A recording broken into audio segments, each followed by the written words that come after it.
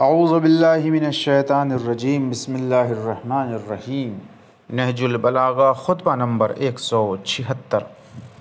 खुदावंद आलम को एक हालत दूसरी हालत से सद राह नहीं होती। न ज़माना इसमें तब्दीली पैदा करता है, न कोई जगह उसे घेरती है, और न ज़बान उसका वस्फ़ कर सकती है।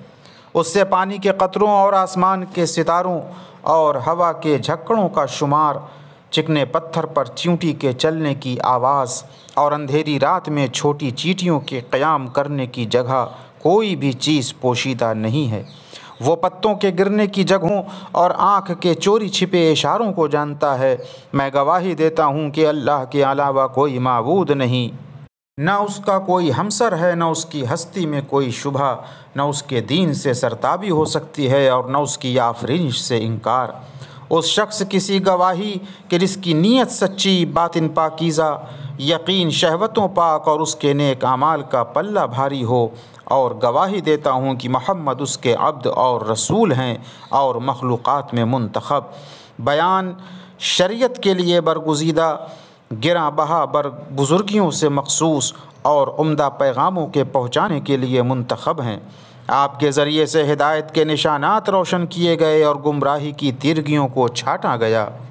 ऐ लोगों, जो शख्स दुनिया की आरजुएँ करता है और उसकी जानब खिंचता है, वो उसे अंजाम कार फरेब देती है और जो उसका ख्वाहिशमंद होता है, उससे बुखल नहीं करती और हवास पर छा जाता है।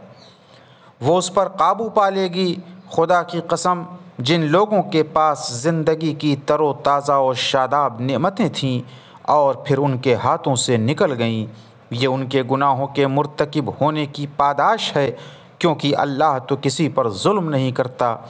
अगर लोग उस वक्त के जब उन पर मुसीबतें टूट रही हों और नेमतें उनसे ज़ायल हो रही हों सिद्क़ नीयत और रजू क़ल्ब से अपने अल्लाह की तरफ़ मुतवजह हों तो वो बरगश्ता हो जाने वाली नेमतों को फिर उनकी तरफ़ पलटा देगा और हर ख़राबी की असलाह कर देगा।